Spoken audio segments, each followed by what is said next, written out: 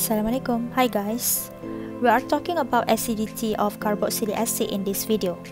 Carboxylic acid are the most acidic class of compounds which contain carbon, hydrogen and oxygen. However, for the sum of the reactions, carboxylic acid is still a weak acid compared to mineral acids. Mineral acid ni contohnya macam sulfuric acid dan juga hydrochloric acid. Both two of these adalah very strong acid. When we talk about acidity of carboxylic acid, there are two factors that influence the acidity.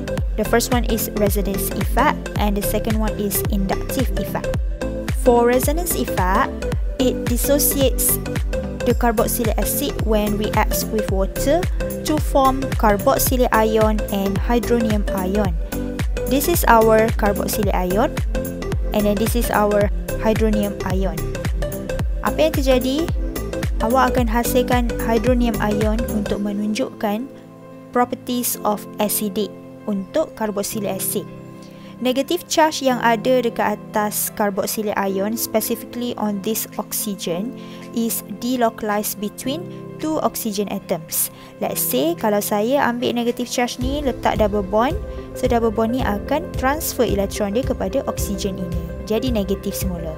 And then dia akan keep repeating the same process until awak dapat carboxylic acid. Kenapa dia dapat carboxylic acid semula? Sebab O- akan attract H+.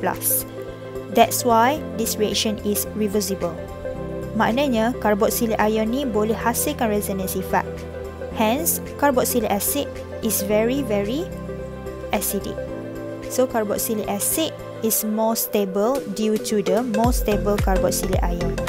Next one adalah inductive effect. Inductive effect ini bergantung kepada substituen yang attach kepada alkyl group of carboxyl carbon. Dia akan ganggu electron density daripada one atom kepada another atom menggunakan sigma bond iaitu kita punya single bond. Substituent groups yang attach kepada carboxyl carbon akan mempengaruhi acidity of the carboxylic acid. Let's say kita ada electron donating group, dia akan reduce the acidity.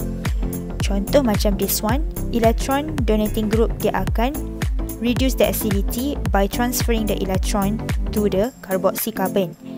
Tetapi kalau kita ada electron withdrawing group EWG, dia akan increase the acidity dengan cara dia akan tarik elektron towards itself daripada carboxyl carbon. Apa yang kita boleh lihat juga dekat sini, EDG akan destabilize the carboxylic ion dan decrease the acidity of carboxylic ion. So, as a comparison, I make into two columns of table. You can see EWG and EDG.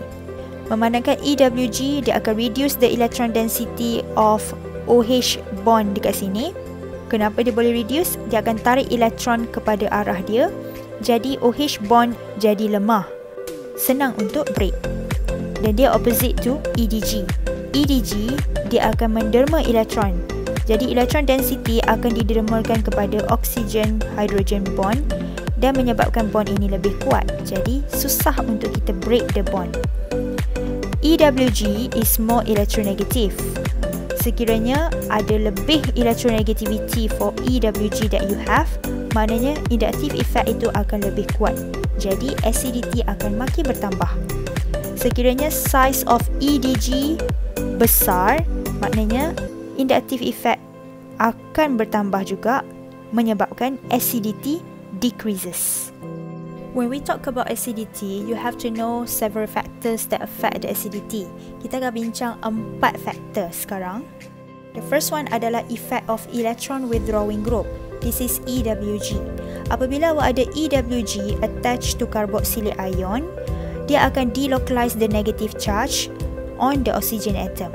Dan dia akan tarik electron density menyebabkan electron density tu move toward itself. That's why anak panah ke arah dia.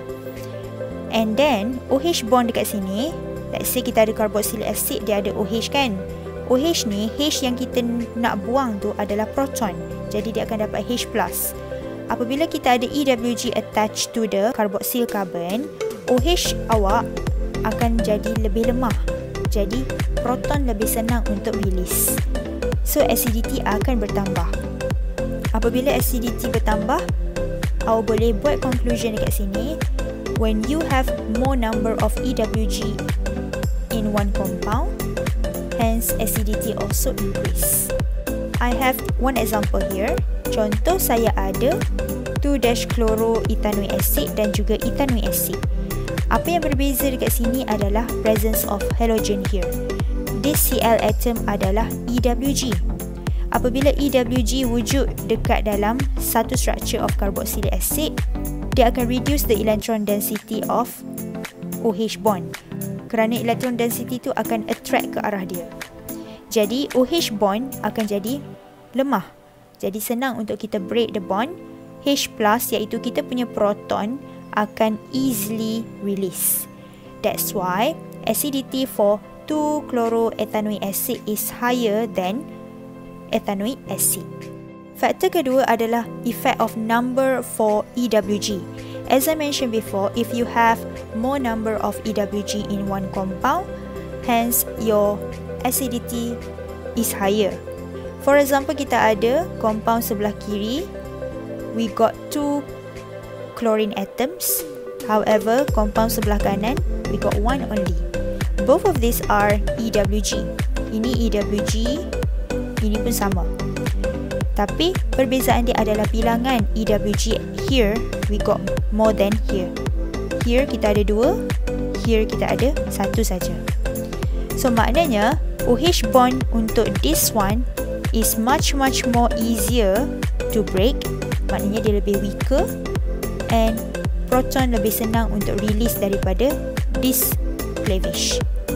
Jadi apabila awak release dengan lebih senang, acidity dia akan lebih tinggi. So 2,2-dichloropropanoic acid is higher or is more acidic than 2-chloropropanoic acid. Seterusnya, faktor yang kita akan lihat adalah position of EWG efek dia akan makin berkurang apabila substituent moves further away from carboxyl group. Contoh macam saya ada 2-chlorobutanoic acid, position dia adalah berada di carbon number 2. But here, the position of chloro is at carbon number 4. It's quite far from the carboxyl carbon here. So apabila Cl atom is nearer to the carboxyl group, for example this structure, maknanya OH bond is weaker. Jadi, H plus akan mudah untuk release daripada this cleavage. So, yang mana satu lebih tinggi acidity? This one is more higher acidity. So, as a conclusion for this factor, when you have EWG which is closer to the carboxyl group, the acidity will be increased. Last but not least, kita akan discuss effect of EDG. Efek of EDG hanya bergantung kepada carboxylic acid yang mempunyai bilangan karboksil yang sama. Contoh saya ada metanoic acid, ethanoic acid dan propanoic acid. Ketiga-tiga ini mempunyai bilangan karboksil group yang sama iaitu satu karboksil group. So what happen now? Awak boleh lihat EDG iaitu alkyl group yang wujud untuk setiap carboxylic acid here. For example, here you got hydrogen, here you got CH3 and here you got CH2CH3. Yang saya circle adalah alkyl group. Alkyl group akan increase the density of negative charge on oxygen atom. So maknanya sekiranya saya ada this alkyl group dia akan berikan density electron density kepada carboxyl group especially this negative charge on oxygen. So apabila larger size of EDG hence the electron density of OH bond is higher. Then, stronger the bond, make it so difficult to release the proton. Therefore, what can we conclude here? Methanoic acid is greater than ethanoic acid and greater than propanoic acid dari segi acidity. So this is arrangement for acidity of three compounds here.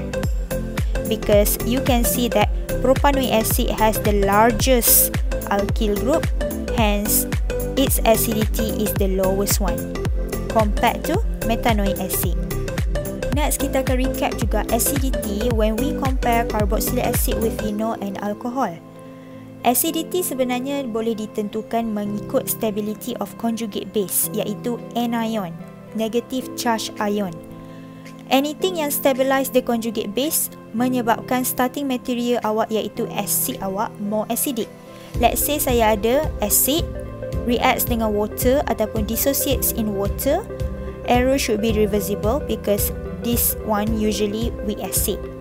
And then kita akan dapat hydronium ion dan juga A-. This is our anion yang kita juga panggil dia sebagai conjugate base. Mengikut teori, carboxylic acid are stronger acid compared to phenol dan alcohol. Kalau boleh lihat kat sini, the lowest one adalah alcohol dan yang paling tinggi acidity adalah carboxylic acid. So how this happen? Mari kita discuss. Apabila kita ada carboxylic acid, phenol dan alkohol, kita akan dissociate dalam water. Carboxylic acid akan hasilkan carboxylic ion. Manakala phenol akan menghasilkan phenoxide ion dan alkohol akan menghasilkan alkoxide ion. Semuanya akan hasilkan hydronium ion untuk menunjukkan sifat acidity. Based on this equation, awak boleh lihat carboxylic acid dia lebih acidic kerana macam yang kita discuss dalam bahagian sebelum ni, carboxylic ion boleh delocalize the negative charge here to form the double bond and double bond here will go towards this oxygen to form O-. So delocalization of electron here makes carboxylic ion can show the resonance effect. Jadi, resonance effect ini lebih stable menyebabkan acidity for carboxylic acid is the highest. Untuk phenoxide ion, this is what you've already learned in chapter 8 actually. Di mana awak ada phenoxide ion. Phenoxide ion dia akan hasilkan delocalization of electron antara negative charge dan juga double bond in the ring. Untuk negative charge dia akan buat double bond. Untuk double bond dia akan share kepada carbon. So carbon itu yang akan ada negative charge and this carbon should be in the aromatic ring. So this is resonance structure for phenoxide ion. What you can see that C double bond O group in carboxylic acid adalah electron withdrawing group. Dia akan reduce electron density of OH. Bila electron density of OH telah berkurang, jadi bond dia akan jadi weaker. Sebab tu senang untuk kita donate the H+. Tapi berbanding antara carboxylic acid dan phenol, carboxylic acid lebih mudah untuk donate the H+ berbanding dengan phenol. Kerana phenol dia mempunyai aromatic ring yang bergerak antara negatif carbon dan juga double bond O. So the summary for acidity, kalau saya nak discuss tentang acidity, awak kena based on several style of questions dan juga faktor yang saya dah discuss. Let's say kalau saya ada comparison between carboxylic acid with phenol dan alcohol, Just now, I already explain carboxylic acid akan menghasilkan acidity yang paling tinggi. Kenapa? Because resonance effect untuk carboxylic ion adalah yang lebih stable berbanding resonance effect for phenoxide ion dan alkoxide ion. Kalau alkoxide ion dia memang tidak boleh hasilkan resonance. Tapi phenoxide ion juga boleh. Cuma resonance dia less stable berbanding dengan carboxylic ion. Untuk halogenated carboxylic acid, macam yang kita discuss, if that carboxylic acid ada halogen, awak kena lihat number of halogen dan juga position of halogens. Kita akan gunakan faktor inductive effect kerana halogens adalah EWG, electron withdrawing group. Electron withdrawing group akan decrease the electron density on OH bond. Jadi senang untuk kita release the H+ the acidity increases. Itu faktor yang kita guna untuk carboxylic acid yang ada halogen. Seterusnya, antara carboxylic acid, awak akan gunakan faktor inductive effect juga tapi kena explain lebih berdasarkan alkyl group. Alkyl group adalah electron donating group. Sekiranya awak ada larger size of EDG, maknanya OH bond awak lebih kuat kerana EDG ini akan donate the electron towards OH bond.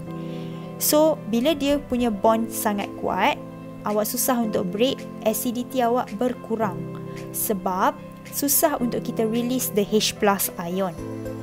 So, itu sahaja untuk acidity.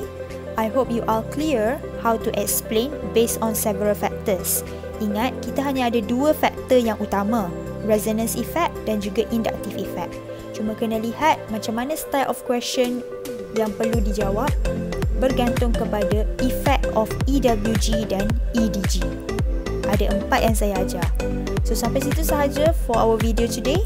I will see you in the next one. Bye.